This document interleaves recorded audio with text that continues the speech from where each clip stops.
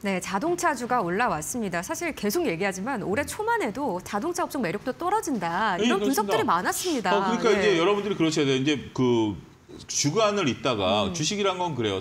어, 어떻게 보면 뭐 말바꾸기라고 표현을 해버리면 할 말이 없습니다만 상황에 따라서는 생각을 바꿔야 된다는 거죠. 저는 이번에 현대기아차 테슬라에 대한 생각을 바꿨습니다. 그러니까 어. 여러 가지 이 시장 환경에 대한 것들, 거시적인 부분에 대한 것들은 아직 불투명하지만 테슬라 같은 경우 이번에 어, 영업이익이 크게 개선됐다라는 것들을 보면, 그러니까 그 전에 영업이익이 거의 안 나던 회사가 이제 예. 영업을 내기 시작했다라고 보면 이 막대한 자금을 가지고 뭔가 할 수 있다. 그게 좀 무서운 거고요.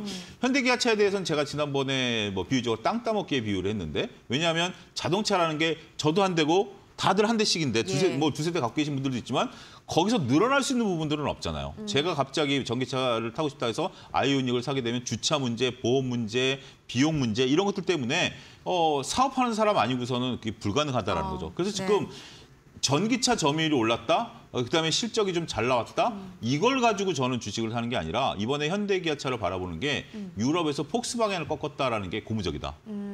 그러니까 결국 남의 시장을 뺏어온 거예요. 그러니까 이제 전반적으로 전기차 시장은 앞으로 커나가는 시장에서 우리가 그 전에 20%에서 점유율이 7%로 올랐다 이게 아니라 이번에 보니까 폭스바겐 점유율이 떨어지고 현대기아차 점유율이 올랐어요. 예. 폭스바겐이라고 본다라면 여러분들 유럽의 국민차잖아요. 우리나라에 있어서 어, 예를 들면 그거죠. 우리나라 그랜저를 사람들이 안 사고 뭐 그, 즉, 극단적으로 말씀드리면 미국의 포드를 샀다. 이런 개념이잖아요. 우리도 선뜻 이해하기 힘들죠. 차라리 같은 가격이면 어 그랜저 아직까지 우리도 개념이 우리가 이제 자동차를 만드는 나라이기 때문에 그랜저를 사지 포드를 산다라는 개념 별로 없을 거예요. 제가 굳이 포드를 들어드린 이유가 있겠죠. 벤츠나 BMW는 논쟁이 안 되지만 예.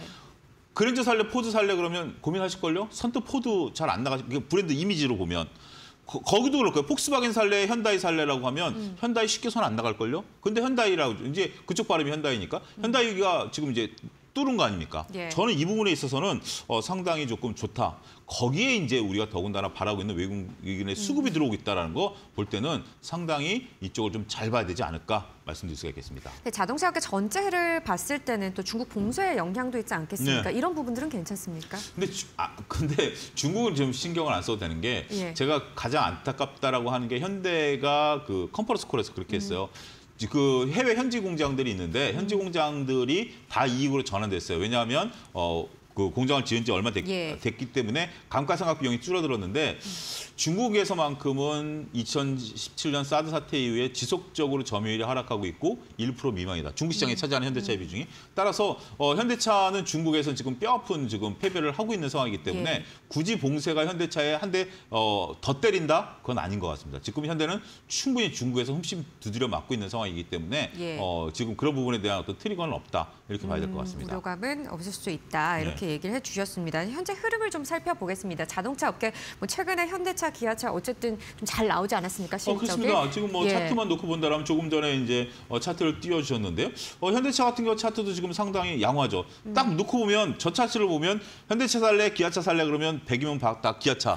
그죠? 차트가 상당히 이쁘죠? 예. 현대가 나쁜 건 아닙니다. 현대가 나쁜 건 아닙니다만 그래도 뭔가 이렇게 좀 V자라는 모습을 보이고 있습니다. 현대차는 꾸준히 올라가는 그런 모습을 음. 좀 보여주고 있죠. 어, 그렇다면 여러분들이 어, 이러한 주식들에 대해서 좀 관심을 가지셔야 된다고 말씀드릴 수가 있겠고 어, 더군다나 저 같으면 현대 글로비스도 여러분들이 한번 보셔야 된다라고 어. 좀 말씀을 드릴 수가 예. 있겠습니다.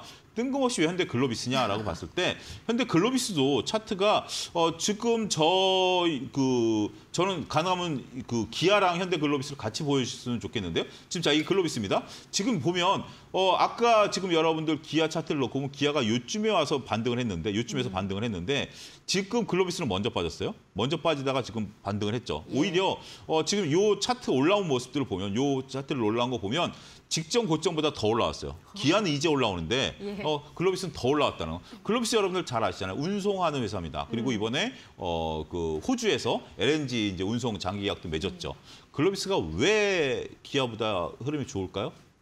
저는 닦아놓고 말씀드려서 이번에 글로비스라는 회사가 그 글로비스 대주주들이 현대그룹의 대주주들이 개인 돈으로 만든 회사 아니겠습니까? 예. 그래서 어, 30% 넘게 지분을 갖고 있다 보니까 공정거래법에 걸려요. 일감 몰아주기. 그러니까 현대기아차가 만든 걸 글로비스가 운송을 하다 보니 어, 일감 계열사가 일감 몰아주기가 돼서 걸립니다. 그래서 이번에 그 대주주들이 결정한 게 사모펀드의 지분 10%를 팔았습니다. 사모펀드에 팔았다라는 것은 우호 지분일지 아닌지 저는 모르겠습니다만 일단 팔았다라는 것은 대놓고 밀어주겠다라는 거죠.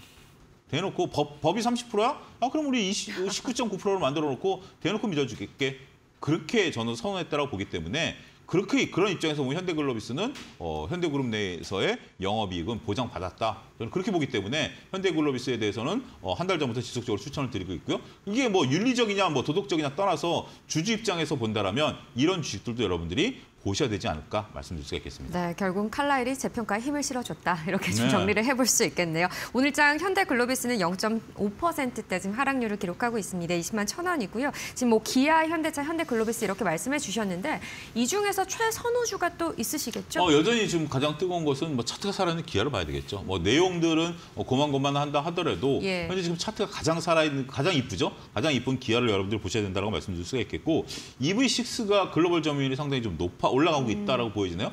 해프닝이 하나 있었습니다. 우리가 이제 그 제네시스가 제네시스가 어 타이거 우즈가 타다가 사고가 나가지고 예. 어그 다행스럽게도 이제 어, 자- 하다 보니까 안전성에 대한 제고가 났잖아요.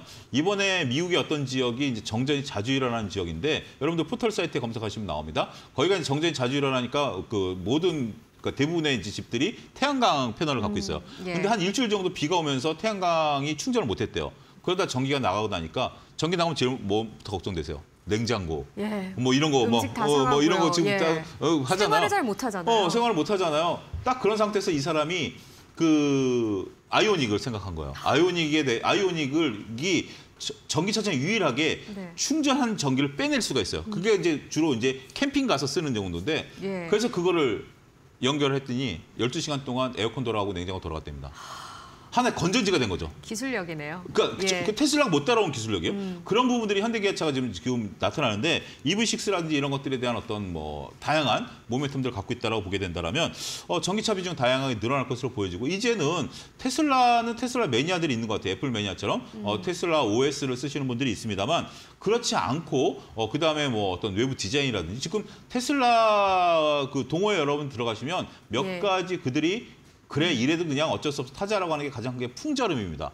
차 몰고 다닐 때 바람 소리 들리는 거. 음. 예. 어, 이런 것들이 테슬라 그걸 못 잡았어요. 근데 현대기아차는 잡았고 그 음. 현대기아차 여러분들 타시면 조용하거든요. 그거는 이제 그런 싸움에서 보면 어, 저는 현대기아가 한번 해볼 만하다 말씀드릴 수가 어, 있겠습니다. 저도 타보니까 전기차가 정말 조용하고 승차감도 굉장히 좋더라고요. 그러니까 생각 외로, 네. 외로 그러니까 이제 뭔가 이렇게 어, 이미지도 그렇고 예. 어, 그렇지 않아요. 그러니까 저, 저 같으면 그래. 저는 뭔가 자동차라는 게 주는 이미지가 있잖아요. 음. 자동차가 주는 이미지가 있기 때문에 제 세단을 팔고 그쪽으로 가기에는 저는 좀 이미지가 그렇지만 어 좋잖아요. 딱 가서 어 아이니 뭐 어떻게 보면 너 저, 저라면 그렇게 해서 좀 자주색 이런 거 타면 정말 좀 이쁠 것 같아요. 아, 감사합니다. 네, 네. 고려해 보도록 네. 하겠습니다. 어쨌든 기술력에 대해서 얘기를 네. 또 해주셨습니다. 지금 기아 강보합권이고요. 오늘 장에서도 상승력 보여주면서 8만 3천 원대를 나타내고 있는데 좀 어떻게 시점을 잡아보면 좋을까요? 어, 저는 좀 여러분들이 이제 물론 이제 기아라든지 현대가 넘어야 될 산들은 있습니다. 하지만 기술적 분석만 놓고 보면 저 차트에서 쉽게 겁을 먹을 차트는 아니죠.